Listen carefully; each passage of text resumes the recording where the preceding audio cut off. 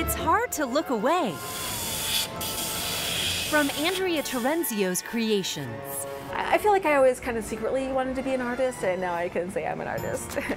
Eyeballs are kind of a classic Halloween decoration. Andrea owns and operates Dolcetta Artisan Sweets in Georgetown. Dolcetta means little sweet one. You know, I just really get to play all day. I paint and I get messy, and then they come out like this, and they're delicious. So color goes in first, and then I take it over to my chocolate tempering machine and fill it up with chocolate. That'll make the shell, and then once the shell is set, then you can add the filling. Once the filling is set, then you put the bottom on, and then you say a little prayer and hope it comes out perfectly. Vibrant colors reflect unique flavors like lemon yuzu, honey saffron, and rosemary caramel.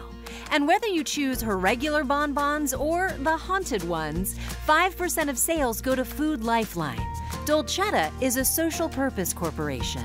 While we're sitting around eating bonbons, other people are starving, and I just wanted to share some of my privilege. And you can share the love with the adults in your life. Cheers! A sophisticated twist on spooky Halloween candy. Just seeing people's reactions and seeing people's face light up. We are a chocolate loving community, yes.